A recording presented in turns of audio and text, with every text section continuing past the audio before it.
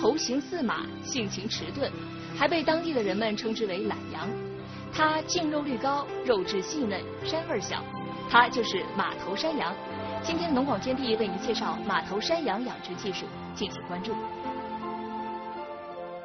传播农业科技经营知识，大力培育新型职业农民。你好，观众朋友，这里是农广天地，我是曾露。马头山羊好处多，大的能推磨，小的一百多。老人吃了不起夜，小孩吃了心眼儿多。这是广为流传在湖北省秦巴山区当地群众口中的一首民谣。马头山羊为什么会在当地人的心中如此深入人心呢？这引起了我们的浓厚兴趣，决定到马头山羊的主产区湖北省云溪县去探个究竟。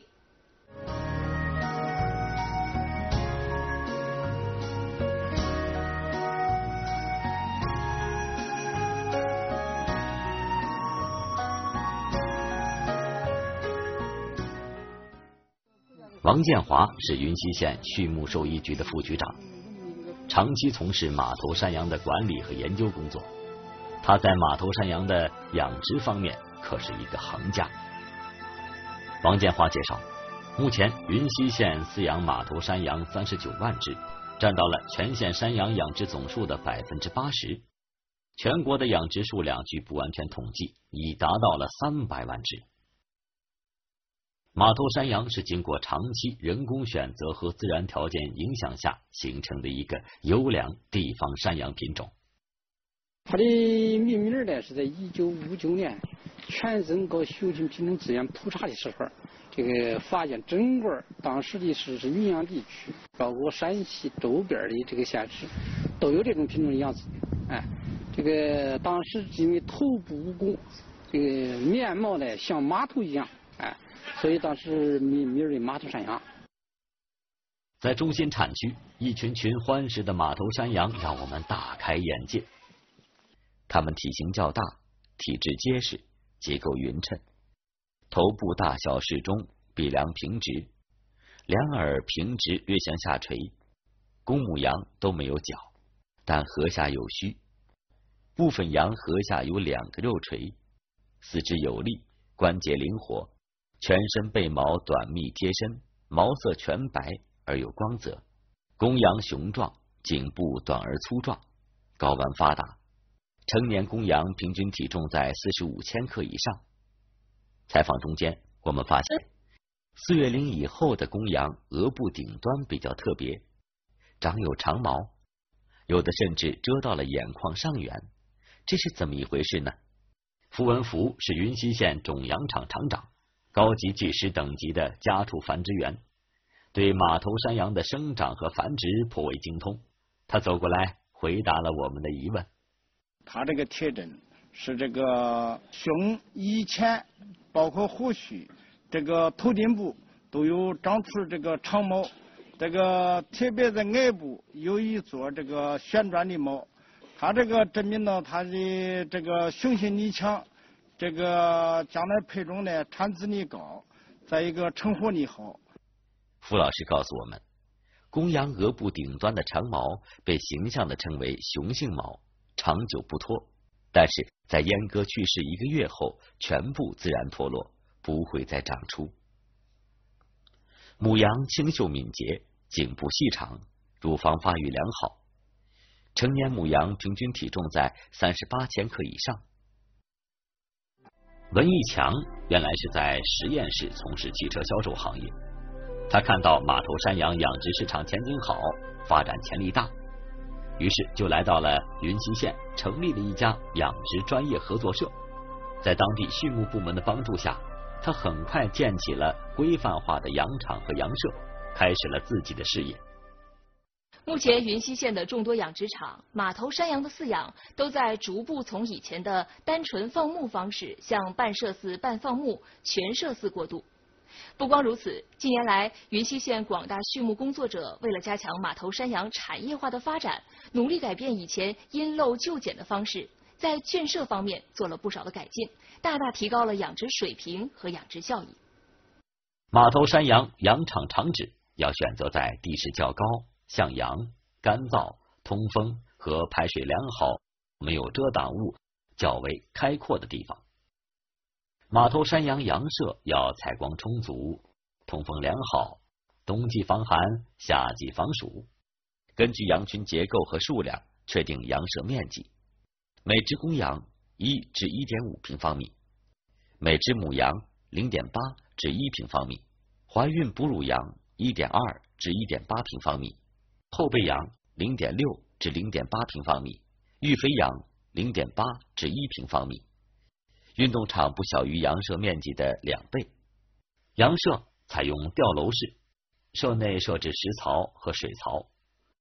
离地八十厘米以上架设羊床，楼板用粗细均匀的木条铺设，间隙一至一点五厘米。羊床下的地面建设成斜坡状，以利于排粪尿。诶，这斜坡怎么这么陡啊？柯有田是云溪县畜牧技术推广站的兽医师，全程参与了新式羊床的设计改建。他向记者详细介绍了新旧两种羊床的不同和优劣。低于四十五度了，它那个粪便滚不下来。在打扫的时候，还需要人工上去弄个扫把进行打扫。原来，过去建造羊床的时候，多是根据地形设置，没有过多的考虑羊床下地面坡度的问题。而斜坡的坡度低于四十五度的话，羊粪从间隙落下来以后。大部分都会堆积在斜坡上面，滚不下来，就像现在这个样子。工人清粪的时候还需要下不少的力气，刮子、扫帚一起上，把羊粪爬下来以后，再用扫帚清扫，费工费力。而通过这个坡度的设计，羊粪会通过斜坡自动滚到筑粪沟中。让这个角度大一些。从上面自动的滚下来以后，这个工人清理的时候呢，都非常简单，提高了工作效率，节省了劳动力。气候适宜，雨量充沛，山上生长的多种牧草为马头山羊提供了丰富的食物，而且小麦、豆类、芝麻等农作物以及豆类秸秆等农副产品，也都是马头山羊很好的饲料。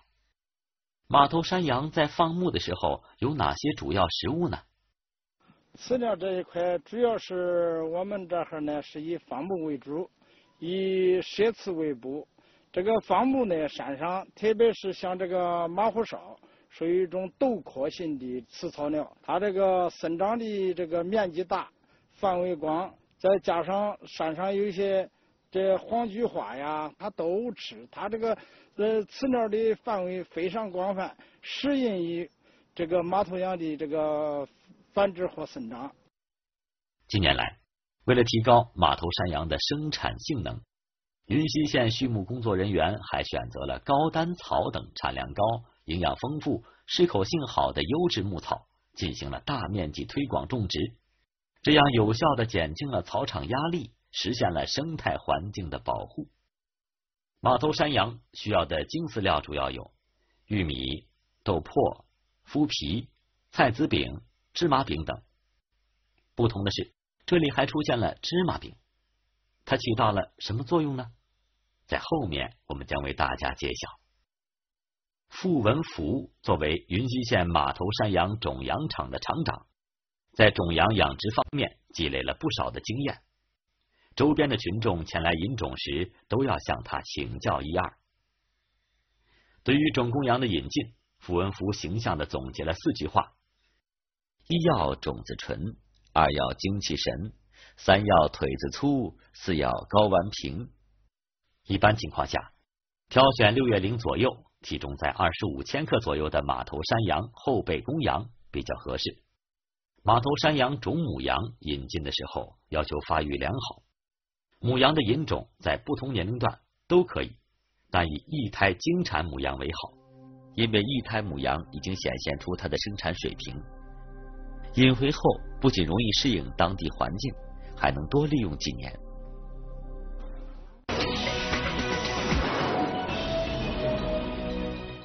引进种羊只是养殖马头山羊的一个开始，接下来的日常管理工作还多着呢。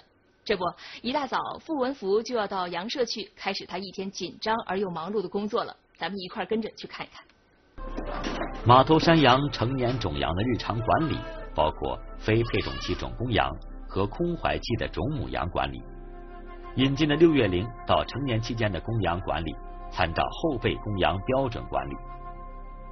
马头山羊种公羊一年四季都有性欲，在繁殖季节的七至十月份比较明显，所以配种主要集中在这段时间。在管理上，一般分为配种和非配种期。非配种期马头山羊种公羊的管理工作主要有饲喂和加强运动。非配种期马头山羊公羊在半射饲、半放牧的情况下，运动量是足够的。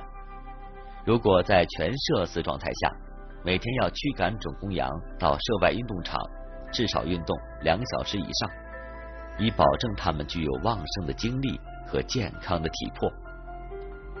非配种期间，饲喂上要补给种公羊足够的矿物质、维生素、蛋白质。青粗饲料占日粮的百分之八十五，精饲料占日粮的百分之十五。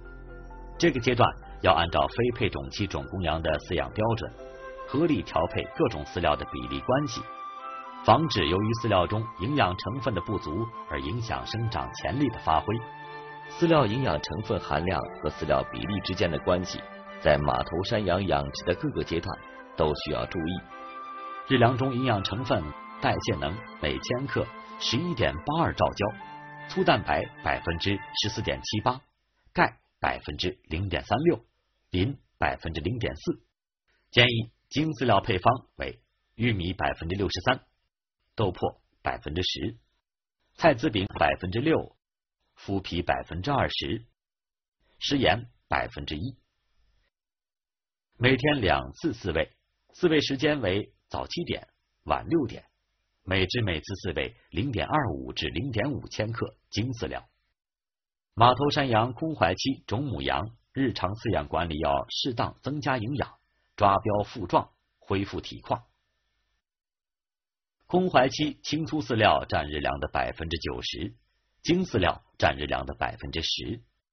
日粮中营养成分代谢能每千克十一点八一兆焦，粗蛋白百分之十三点四七，钙百分之零点三六，磷百分之零点三八。空怀期种母羊建议精饲料配方为：玉米百分之六十七，豆粕百分之七，菜籽饼百分之五，麸皮百分之二十，食盐百分之一。每天两次饲喂，饲喂时间为早七点、晚六点。每只每次饲喂零点一五至零点二五千克精饲料。傅文福告诉记者，在空怀期种母羊管理中。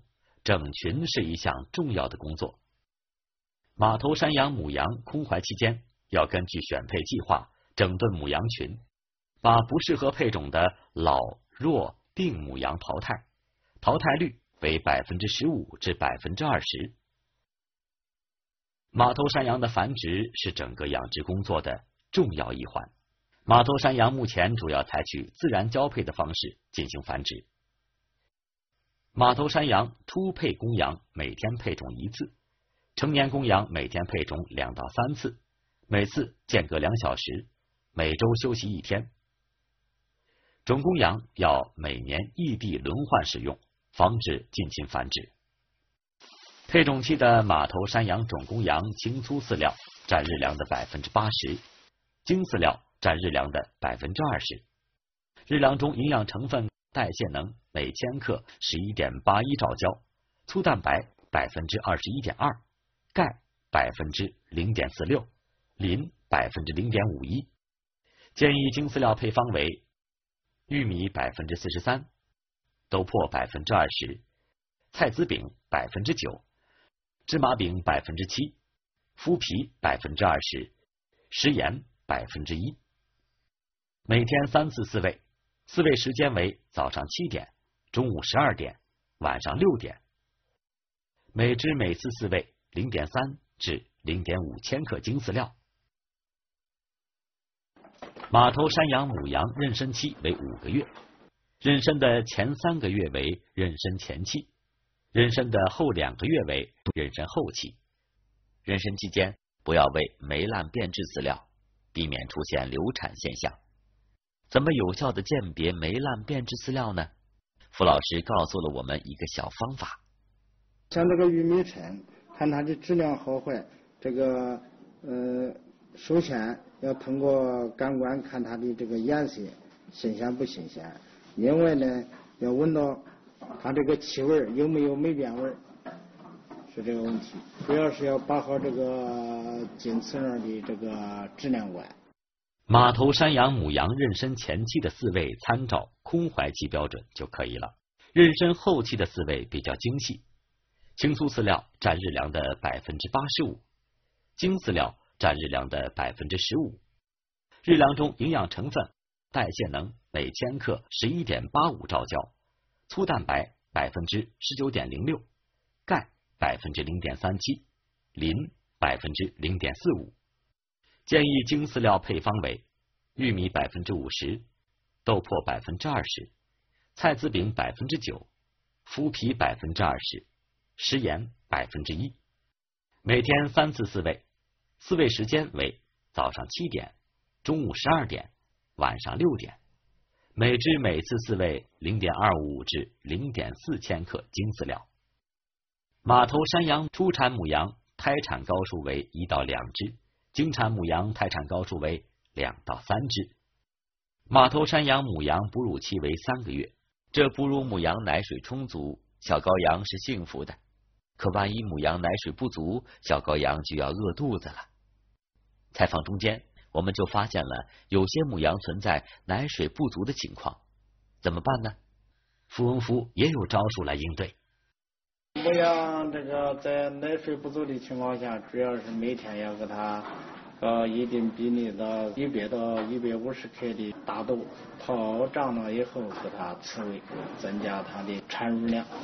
哺乳母羊日粮比例，精饲料配方建议配方参考妊娠后期，每天四次饲喂，饲喂时间为早上六点、中午十点、下午三点、晚上七点。每只每次饲喂零点二五至零点四千克精饲料。一到三月龄为马头山羊、羔羊生长阶段，马头山羊、羔羊尽量做到及早补饲，以刺激瘤胃等消化器官的发育。一般。羔羊出生后十日龄左右开始训练采食草料，一月龄左右适当补饲精饲料。主要是要这个增加一一部分精饲料，精饲料呢，就是说在初开始呢达到三十克，在一个月以后达到五十克。但是饲料的主要成分呢是以玉米碜为主，呃，其次呢就是说豆白、麸皮。和这个芝麻饼。小羊羔断奶之后，就可以进入到后备羊的饲养管理阶段了。为了保证马头山羊后备羊能够有充足的营养，我们可以采用公母分群饲养的方法，并根据个体鉴定，把不符合种用标准的公羊在出勤期到来之前阉割转育肥羊群。我们来具体了解一下如何饲养后备期的马头山羊。在马头山羊后备期，一定要保证粗蛋白和钙、磷等的供应。以满足它体躯发育和骨骼迅速生长的需要。后备期公羊青粗饲料占日粮的百分之八十五，精饲料占日粮的百分之十五。日粮中营养成分代谢能每千克十一点九八兆焦，粗蛋白百分之十六点八三，钙百分之零点三八，磷百分之零点四。建议精饲料配方为玉米百分之六十。豆粕百分之十五，菜籽饼百分之八，麸皮百分之十六，食盐百分之一。每天两次饲喂，饲喂时间为早七点、晚六点。每只每次饲喂零点三至零点四千克精饲料。后备期母羊饲喂与公羊相比略有不同，青粗饲料占日粮的百分之九十，精饲料占日粮的百分之十。日粮中营养成分代谢能每千克十一点九二兆焦，粗蛋白百分之十四点八九，钙百分之零点三七，磷百分之零点三九。建议精饲料配方为玉米百分之六十五，豆粕百分之十，菜籽饼百分之七，麸皮百分之十七，食盐百分之一。每天两次饲喂，饲喂时间为早七点、晚六点。每只每次饲喂零点二至零点三千克精饲料。马头山羊后备羊阶段要按照公母分群，以便于饲养，减少因管理不当而造成的经济损失。一般情况下，每群为三十至五十只。个体鉴定不合格、不留作种用的后备公羊，在出行期到来之前，要阉割转育肥羊群。一般采取橡皮筋结扎法，就是将橡皮筋紧紧缠绕在阴囊基部。使它形成一个环绕带，五至七天后，阴囊和睾丸会自行脱落。公羊阉割后，可以降低饲料消耗，增加养殖效益。在马头山羊养殖中，因不符合种用标准而淘汰的公羊和母羊，产羔率低的成年母羊，老化的种公羊和种母羊，都是育肥的对象。育肥羊由于品种、年龄。标型、健康状况及体重等方面差异都比较大，最好按照不同情况进行分组处理。下面介绍中等标情的马头山羊育肥方案，供参考。育肥期马头山羊青粗饲料占日粮的百分之八十五，精饲料占日粮的百分之十五。日粮中营养成分、代谢能每千克十二兆焦，粗蛋白百分之十五点四六。钙百分之零点三八，磷百分之零点三八。建议精饲料配方为：玉米百分之六十五，豆粕百分之十二，菜籽饼百分之七，麸皮百分之十五，食盐百分之一。每天三次饲喂，饲喂时间为早上七点、中午十二点、晚上六点。每只每次饲喂零点二五至零点三五千克精饲料。云溪县境内多灌丛草场，牧草丰美，马头山羊适度放牧可以有效的节省饲养成本。马头山羊放牧一般选择在下午进行，夏季要在天气凉爽的四五点以后放牧，冬季则要稍微提前两到三小时。这样，等到气温降低的时候，放牧已经结束了。放牧时间一般为两个小时左右。另外，符文符告诉我们，成年和后备种公羊要单独放牧，母羊、羔羊和育肥羊则可以在一起放牧。放牧期间要根据实际情况科学放牧，以减少对生态环境的破坏。一般情况下，一亩草场控制在五只羊左右进行放牧。